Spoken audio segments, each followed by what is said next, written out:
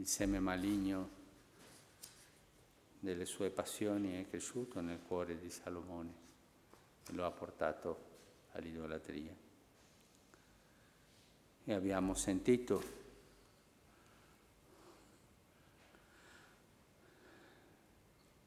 dopo la prima lettura nell'Alleluia questo bel consiglio. Accogliete con docilità la parola, con docilità. La parola che è stata piantata in voi può portarvi alla salvezza. Facciamo la strada di quella donna cananea, di quella donna pagana, accogliendo la parola di Dio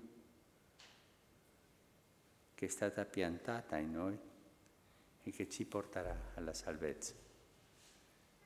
Che la parola di Dio potente ci custodisca in questa strada e non permetta che noi